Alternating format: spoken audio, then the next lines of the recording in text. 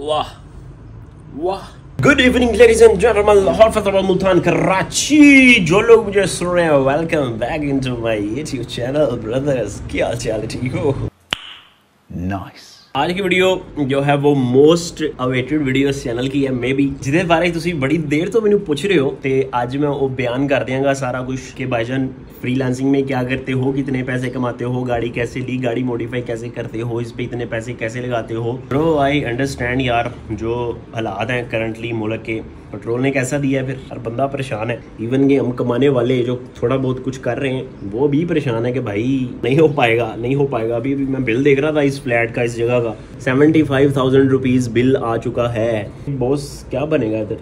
क्या बनेगा क्या? अब अजन, इस वीडियो में आपको वो सारे होपफुली सारे सवालों के जवाब मिल जाएँगे। इस वीडियो में सेक्शंस बना दूँगा मैं, जिसमें पार्ट्स होंगे। जो जो आपका कंसर्निंग पार्ट है, आप डायरेक्टली वहाँ पे जा सकते हैं, अगर आप मेरी लंबी बकवास नहीं सुनना चाहते तो I will try to be more precise and थोड़ा बोलूँ। अगर मैं ज़्यादा बोल रहा हूँ तो you can skip to the next part it's okay I won't mind कुछ भाई अपनी प्रो टिप्स भी आपको देगा और समझाएगा इस प्लेटफॉर्म के बारे में।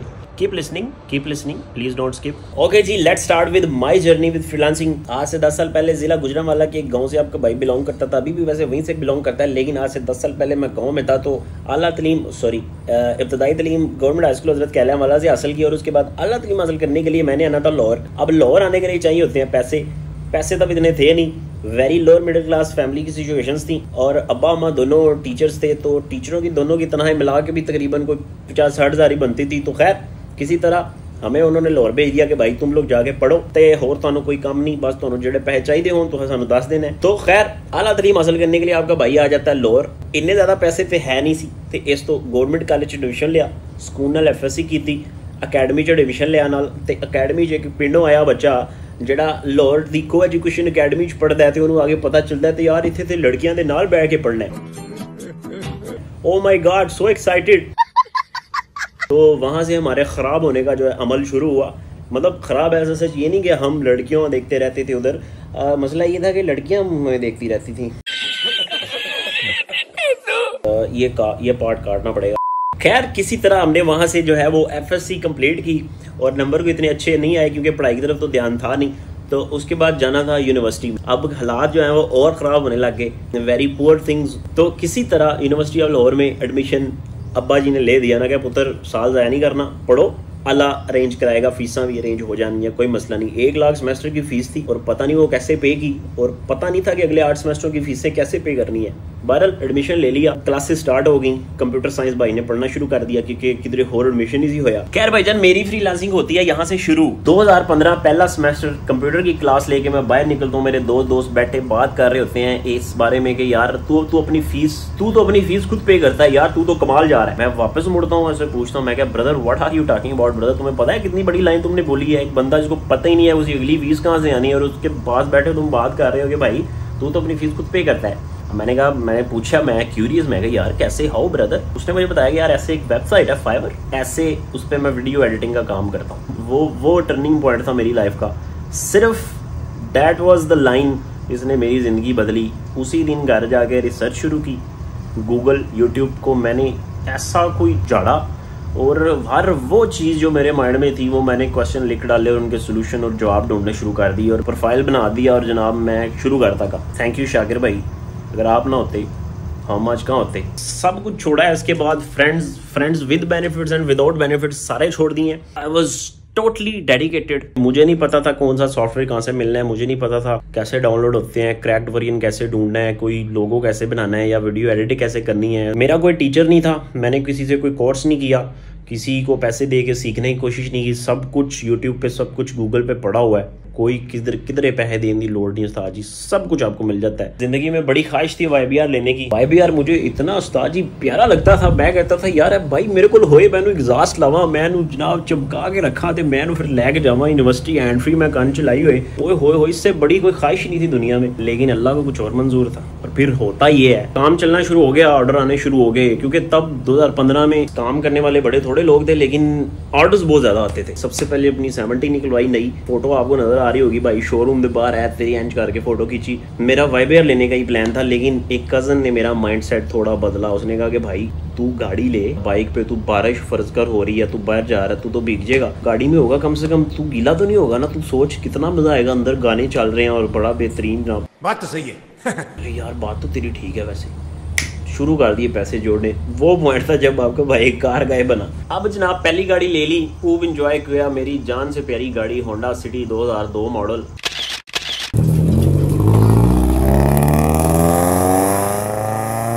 बहुत शशके किए यूनिवर्सिटी में। यूनिवर्सिटी वाले भी ਸਾਰੇ ਦੇਖ ਕੇ ਹੈਰਾਨ ਗਏ ਯਾਰ ਉਸਤਾਦ ਜੀ ਇਹਦੇ ਕੋਲ ਮੋਟਰਸਾਈਕਲ ਵੀ ਨਹੀਂ ਹੁੰਦੀ ਗੱਡੀ ਤੇ ਆਣ ਲੱਗ ਗਿਆ and with in the degree ਦੋ तकरीबन 6-7 महीने बाद मैंने एक और गाड़ी ली Honda City Aspire 1.5 manual transmission क्योंकि मुझे लगता था कि ऑटो पेट्रोल बहुत खाती है भाई नहीं ऑटो नहीं लेनी ऑटो के बारे में ये माइंड सेट था खैर वो सिटी भी मेरे लिए बहुत लकी साबित हुई उसके बाद फिर जब मैंने पहली दफ़ा ग्रैंडी चलाई तो मैं गया उस्ताद जी नहीं ऐ, मैं कुछ नहीं चला रहा, जो ग्रैंडी चला के मुझे मज़ा आया, जो ग्रैंडी चला के मैं पागल हुआ। गड्डी मैं क्या ही लेनी है? फिर भाई लग गया पैसे जोड़ने में। मुठी इंज बंद तो बस बचत मोड ऑन और बस सारी रात काम, सारा दिन काम, सेहत की परवाह नहीं, कोई चक्कर नहीं, पैसे चाहिए, गाड़ी लेनी है बस। गारंटी लेनी है। यहाँ यहाँ तक इस कहानी को मैं इस पार्ट को बंद कर रहा हूँ। तो this was my journey with the freelancing what do we need to start this question is the important one basic question start कैसे करना है? वेबसाइट है W W W dot F I V E R R dot com Fiverr website है। आपको थोड़ी बहुत knowledge होनी चाहिए how to make a gig how to upload gig, how to create profile how to how to how to और plus you need a laptop laptop की specs की बात करूँ तो आठ G B RAM S S D hard ठीक है? Normal hard वाला नहीं लेना। फिर बता रहा हूँ एस एस डी हार्ड हो आठ जी बी रैम हो मिनिमम दैट्स मिनिमम तकरीबन पचास साठ हज़ार में भी ये मशीन आपको मिलनी है। अगर आपके पास पैसे थोड़े ज़्यादा हैं तो तकरीबन सोलह जी बी रैम या बारह G B RAM RAM extend करा लो एस एस डी यूज़ कर लो तो गुड मशीन है, जितनी रैम अच्छी हो। अगर आप मजीद थोड़े से पैसे लगा सकते हो, तकरीबन डेढ़ लाख का आपका बजट है तो भाईजान ज़िंदगी की सबसे फेवरेट मशीन आपकी होने जा रही है। This MacBook Pro 2015 16 GB RAM दो जीबी ग्राफिक कार्ड और तकरीबन 512 स्पेस और मैं कहता हूँ, क्या ही बात है। एडिटिंग कर लो जड़ा मर्ज़ी सॉफ्टवेयर चला लो। एट अ टाइम दो तीन सॉफ्टवेयर पे काम कर लो तो। This is a very good machine in डेढ़ लाख रुपया। और सॉफ्टवेयर कौन से यूज़ होते हैं? Photoshop After Effects Premiere Pro Illustrator और एक फ़िल्म हो रहा है। अगर आपने बिल्कुल ईजी काम लेके चलना है तो। अगर थोड़ा प्रोफेशनली लेके चलना है तो अडोप के जो चार सॉफ्टवेयर हैं, चार सॉफ्टवेयर हैं, इनको अपने पल्ले से बाँध लो। इनकी बेसिक्स रट लो। इनके थ्रू आप पर मल्टीपल स्किल्स पे काम कर सकते हो। This is what you need to start free तो अब आते हैं जनाब, सबसे इंपॉर्टेंट सवाल की तरफ़ की जैफा भाई लैपटॉप भी ले लिया है प्रोफ़ाइल भी बना लिया है और गिग भी अपलोड कर लिया है। अब भाईजान पहला ऑर्डर कैसे आना है? ये पॉइंट है जिधर पूरी दुनिया आगे पसती है, ये वो पॉइंट है जहाँ पे सबसे ज़्यादा लोग तंग है। ऑर्डर लेने की टिप नंबर वन के फजर की नमाज़ मिस नहीं करनी, बाकी भी पढ़नी चाहिए, लेकिन फजर की नमाज़ में मसल्ले पे बैठ के अल्लाह के साथ जिद लगा लेनी है कि अल्लाह, मैं ये काम शुरू करने लगा और मुझे ना ऑर्डर चाहिए। मुझे ऑर्डर चाहिए नहीं तो मैं इतना उठना नहीं है, ठीक है? हो ही नहीं सकता भाई जान आपको ऑर्डर ना आए, यार कैसे हो सकता है ऐसे? तुम एक दफ़ा दिल से दुआ तो मांग के देखो ब्रदर्स ये हो गई रूहानी टिप टेक्निकलिटीज की बात करें, अब सेकंड टिप जो फाइबर आपको बताता है या जितने भी लीगल वेज बताते हैं कि आपने टाइटल्स अच्छे यूज़ करने हैं थंबनेल इंटरेक्टिव अपने अकाउंट को 24 घंटे ऑनलाइन रखो लैपटॉप तुम्हारा 24 घंटे ऑन रहे। ये सारा कुछ तो आपने कर लिया कि यार गिग भी अच्छी बना ली है डिफाइन भी कर लिया है, ये ऑनलाइन भी रह ली है टाइटल भी अच्छी है, फजर की नमाज़ भी पढ़ ली है, दुआ भी मांग ली है, अब फिर भी ऑर्डर नहीं आ रहा। देखो भाईजान फाइवर का जो एल्गोरिदम है ना, वो इंतहाई बुरा है। इनके अपने इंजीनियर्स को ही नहीं पता कि इनकी सर्च एल्गोरिदम कैसे काम कर रहा है, ठीक है? जो हमने अब तक ऑब्ज़र्व किया है ना तो अब जब इनको नहीं पता कि इनका एल्गोरिदम कैसे काम कर रहा है तो हमने भी उसको ना ट्रिक करने का एक तरीका ढूंढ लिया है। वो तरीका शायद आपको पसंद ना आए, लेकिन मैं आपको बता रहा हूँ कि भाईजान वो काम करता है, मेरे लिए काम आज तक कर रहा है और आपके लिए वो कर सकता है। अब हर बंदा शायद वो तरीका अप्लाई ना कर पाए क्योंकि उसमें इन्वेस्टमेंट अब इन्वेस्टमेंट ऐसे है कि जब भी आप कोई नया रेस्टोरेंट नई चीज़, नई दुकान खोलते हैं तो आप उस पर लेते हैं रिव्यूज़ सर्च एल्गोरिदम फाइव का चलता है रिव्यूज़ बेस पे, अब आप क्या कर सकते हो कि यार आप डिफरेंट प्रोफाइल्स बना के अपने ही, अपने उस प्रोफ़ाइल पे रिव्यूज़ दे सकते हो। ठीक है, ये बड़ी बेसिक एक ट्रिक है, इसमें कोई बड़ी रॉकेट साइंस नहीं है। कोशिश करो कि कोई बाहर अगर दोस्त रहता है ना, दुबई यूनाइटेड स्टेट्स को इधर उधर ऑस्ट्रेलिया उससे ऑर्डर उसको पैसे दे दो और उसको कहो कि भाई मुझे ना इसी तरह तो ऑर्डर प्लेस कराता है। तो ऑब्वियसली फाइवर काटेगा उसमें से सर्विसेज़ फ़ीस होंगी ट्वेंटी परसेंट फाइवर काटता है। वो आपके सारे पैसे आपको वापस नहीं मिलेंगे, लेकिन आपका सेवेंटी फाइव परसेंट फिर भी आपको वापस मिल जाएगा इन केस आपका अकाउंट नहीं चलता। उससे होगा ये कि आपका अकाउंट एक दफ़ा हो जाएगा पुश फाइवर को ये लगेगा कि यार इस बंदे को ऑर्डर आ रहे हैं। फाइव स्टार रिव्यूज़ मिल रहे हैं, रोज़ के एक एक दो दो अकाउंट ऑर्डर कंप्लीट कर रहा है तो ऑटोमेटिकली आपकी गिग को वो करेगा रैंक लेकिन यहाँ पे आपको वो पकड़ भी सकते हैं, यहाँ पे आपको वो बैन भी कर सकते हैं तो इससे आपने ज़रा बचने अब ये मैं बिल्कुल ऑनेस्ट रह के आपको बता रहा हूँ, क्योंकि भजन ये तरीका ना चलता है. वैसे आप बस दुआ मांग सकते हो कि अल्लाह मेरा अकाउंट चल जाए, क्योंकि बाय रिक्वेस्ट का ऑप्शन पहले होता था फाइवर पे, कि आपको क्लाइंट अपनी मैसेजेस पोस्ट करते थे कि मुझे ये चाहिए आप उसको ब्रीफ भेजते हो कि मैं कर सकता हूँ। और वो आपको रिप्लाई अगर उसको आपका प्रपोजल अच्छा लगा है तो आपको रिप्लाई बैक करेगा और आप ऑर्डर ले लोगे। लेकिन अब शायद वो भी फाइवर पे इतना खास नहीं है। बाय रिक्वेस्ट तो मेरे ख्याल से वैसे ही ख़त्म हो गई हैं। ब्रीफ्स आते हैं कभी कभी सो so, एक तरफ़ है कि आप सिर्फ़ दुआ कर सकते हैं। दूसरी तरफ़ है कि आप ये जो इन्वेस्टमेंट वाला चक्कर है ना ये जो डिफरेंट अकाउंट से अपने अकाउंट पे ऑर्डर लेके अपने अकाउंट को रैंक करवा सकते हो।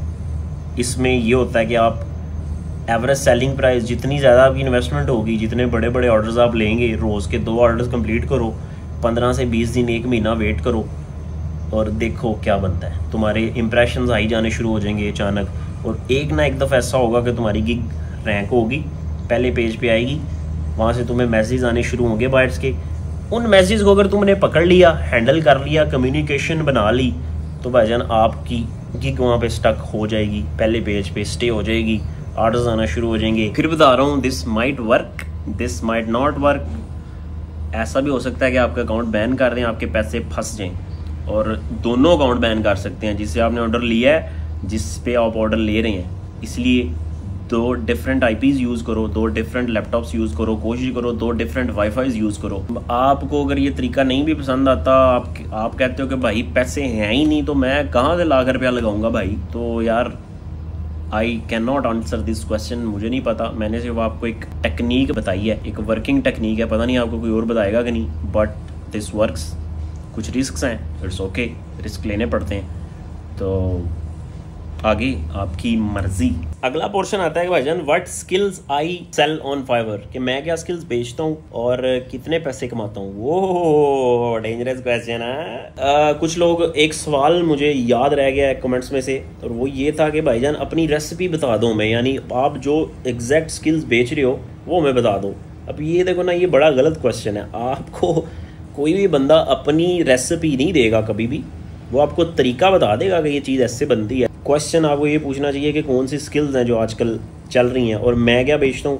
मैं आपको बताता हूँ। बाहर मेरे पास आता है और मुझे वो आगे कहता है कि यार मुझे ना ऐसे ऐसे एक लोगो चाहिए, जिसमें एक कप की फ़ोटो हो और नीचे मेरे ब्रांड का नाम लिखा हो, ठीक है?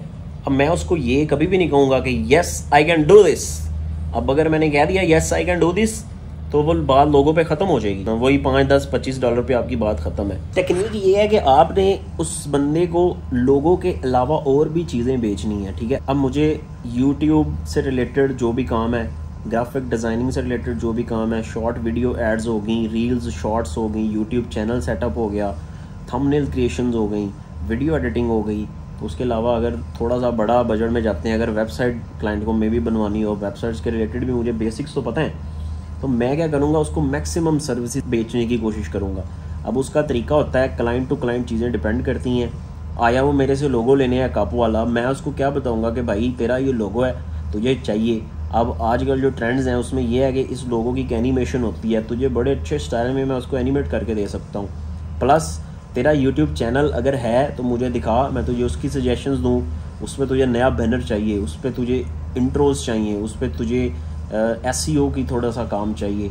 उसके बाद उसकी वेबसाइट देखूँगा, उसकी उसको रिकमेंडेशन दूँगा कि मेरी एक्सपर्टीज़ ये कहती है कि भाईजान, आपको ये भी ज़रूरत है, आपको एक शॉर्ट वीडियो एड्स की भी ज़रूरत है। मैक्सिमम जितना मेरे से हो सकता है ना, वो मैं उसको बेचने की कोशिश करूँगा। और गोरे इतने चंगे हैं इस मामले में कि वो आपकी ना सलाह लेते हैं। अगर आपको सलाह देनी आती है ना अच्छी इंग्लिश में तो आपकी सलाह लेंगे। अब एक बंदा जो मेरे से सिर्फ़ पाँच दस डॉलर का लोगो लेने आया ना, मैंने उसको सौ, दो सौ डॉलर पे कैसे लेके जाना है, ये मेरी कम्युनिकेशन पे डिपेंड करता है और ये ये बेसिकली आपकी स्किल्स हैं। आपने अपनी कम्युनिकेशन बेचनी है।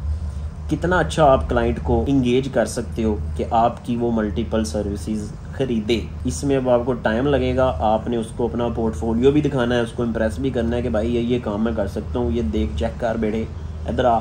अगली बात आती है भाईजान हाउ मच आई अर्न बड़ा शौक है पाकिस्तानियों को ना, अगले की तनख्वाह पूछने का।